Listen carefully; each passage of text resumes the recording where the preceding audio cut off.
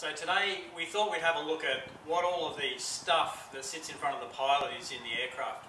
One of the most common questions we get asked as pilots uh, by the general public is what all those knobs, switches, gauges and dials are that sit in front of the pilot and what do they all do.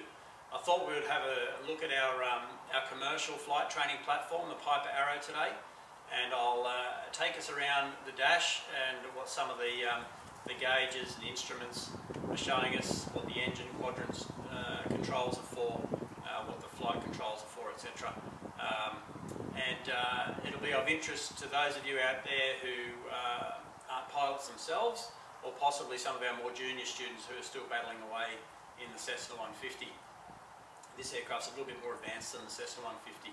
Uh, the Piper Arrow is uh, a single engine piston aircraft with a constant speed unit in it which has a variable uh, pitch propeller. It allows us to change the blade angle in flight to give us more efficiency and higher speeds as well as a retractable undercarriage which also gives us those higher speeds which are very helpful. Uh, about 135 knots in the cruise this aircraft which is around 250 kilometres an hour. Um, so we'll wander out now, we'll have a look at the, uh, at the panel and hopefully you'll get a little bit out of it. So let's go.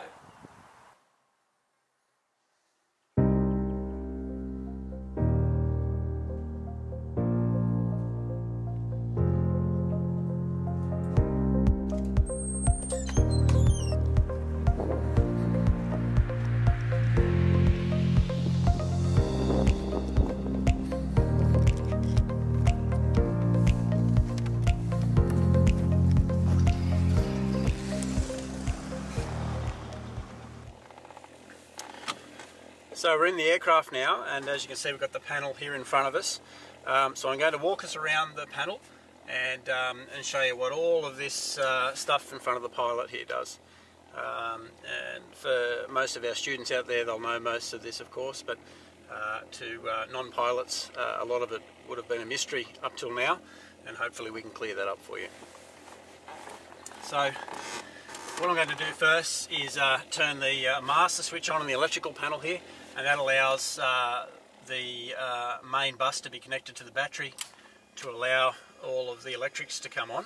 Uh, and we've got our uh, avionics master power switch coming on now. And that allows our radio stack to come on and our electronic flight instruments as well.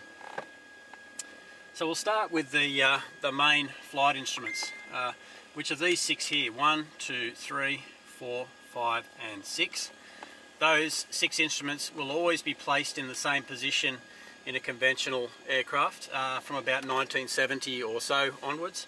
Prior to that they could have been scattered all over the dash anywhere um, but uh, they tend to be fixed in the same position uh, and uh, they're colloquially known as a six-pack to most pilots. Top left we have the airspeed indicator which tells us how fast we're moving uh, through the air, that's our indicated airspeed. Uh, there are different types of airspeeds. I don't want to get into too much complexity at this stage, but that's the, uh, the indicated airspeed uh, of the aircraft through the air, uh, measured in nautical miles per hour, uh, or knots. One knot is 1.852 kilometres an hour. So 100 knots is about 185 kilometres an hour on there. Uh, there are different colour codings that have different meanings for a pilot. Um, moving across to the next one, we have an electronic flight attitude indicator here, uh, replacing the standard analog instrument that used to be in there. It gives us a bit more information. Uh, it becomes a multi-function display as well. Uh, but the primary uh, reason for this instrument here is the attitude information here, which tells the uh, pilot whether the aircraft is pitched up or pitched down below the horizon or in a bank left or right. Uh, moving across from there we have our altimeter the altimeter tells the pilot what our height is in feet above mean sea level generally. Uh, it needs to be reset um, when high and low pressure systems move across the countryside uh, to give us an accurate height reference or altitude above sea level. Um, and the uh, elevation of the airport here at Warnervale is 25 feet. So prior to departure we would set this and it's already on about 25 feet. I set that before uh, but we can, uh, depending on the pressure setting, we can adjust that uh, in flight or before departure. Uh, if we look down the uh, bottom left down here, we have the turn coordinator. The turn coordinator tells us how quickly we're uh, changing our heading, left and right, and also tells us whether we're in balance or not with the little balance ball down the bottom here. In the center at the bottom there, we have a, um, an electronic uh, direction indicator. Uh, this one has the capability to show both magnetic heading and GPS track. Um, at the moment it's set to uh, magnetic heading and it needs to be reset. Uh, it's not indicating the correct heading at the moment, but before flight we would uh, reset that one as well to indicate the correct heading and we slave that to the, or set it anyway, to the magnetic compass up above here. The magnetic compass is always accurate because it's getting its uh, magnetic information from the, um, the magnetic North Pole um, however, it does suffer from acceleration and turning errors in flight. So it's not very stable to read in flight. So we normally set the, the uh, heading indicator here, which is stabilized by a gyroscope, uh, to the same heading that the compass is showing because it's much easier to read in flight. But it does need to be, unless you have a much more advanced system, it does need to be recalibrated with the magnetic compass at regular intervals. We have our vertical speed indicator next, and that tells us our uh, change in rates of climb or descent. Uh, and this one's calibrated in hundreds of feet a minute, so if the needle's above the zero position, we're climbing. If it's below, we're descending. And it's measured, you know, 500, 1,000, 1,500 and 2,000 feet per minute climb or descent. We have a couple of navigation aids to the, uh, to the right of the basic six-pack. We have a VHF omnidirectional radio range uh, indicator up the top here. Um, so that's a VOR.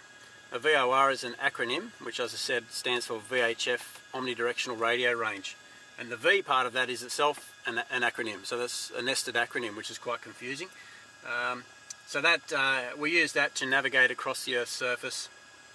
Uh, we won't go into the details of that one at this stage. And we have another type of navigation aid underneath there uh, that's an automatic direction finder or ADF and it uh, talks to a non-directional beacon on the ground or an NDB uh, as another means of uh, working out your position.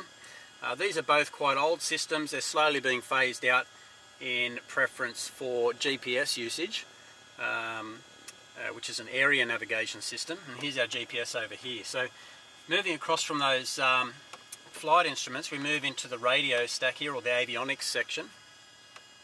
At the top here we have a GNS 430 uh, which is a combined radio receiver and transmitter and a GPS unit as well.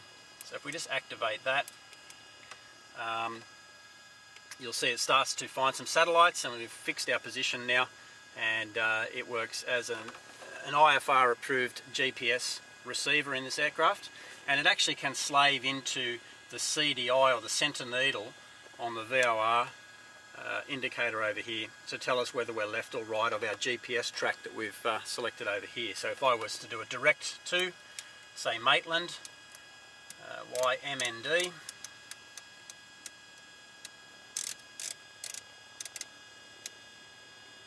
Maitland, enter and enter. We get a magenta line telling us how to get to Maitland and we get various other information on here as well telling us our distance to go, our current ground speed, our direct track, our current track and estimated time uh, of arrival and estimated time en route, as well as our current um, radio frequencies, uh, both on the uh, active and standby, and, uh, and our VOR indicator frequencies there if we were using them. It has a whole heap of different functions, that unit there, but we're not going to go into any more detail of that at this stage. Underneath that we have our second COM radio. At the moment we have 1258 Sydney Centre uh, on the active and 1257 Brisbane Centre on the standby.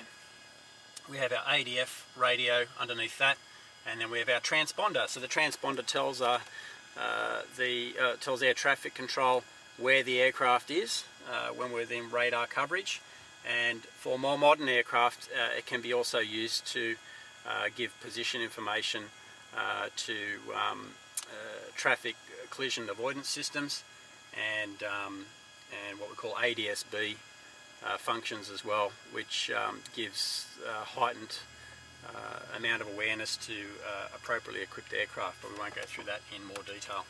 at this stage.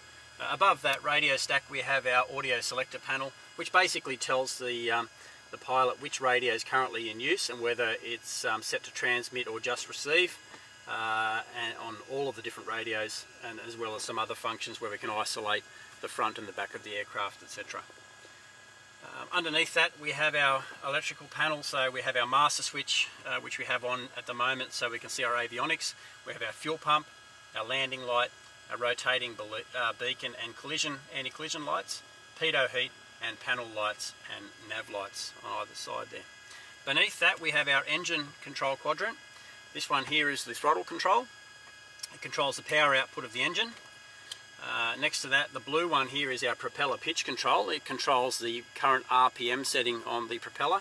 And to get a percentage power output, we use, have to use a combination of the throttle and the propeller pitch controls. The, um, the throttle controls how much manifold pressure we're putting out and the propeller pitch control uh, controls our current RPM which is indicated on this um, engine management gauge over on the far left over here uh, which uh, we have a backup of our manifold pressure and our RPM over there. It also gives us oil temps and pressures, fuel flows and all sorts of information on this um, gauge on the far left. Um, the red control here on the engine uh, quadrant is the engine mixture control. It basically uh, allows the pilot to adjust the amount of fuel that's being allowed to enter the engine uh, to um, have the right ratio of fuel to air at different altitudes and different density altitudes.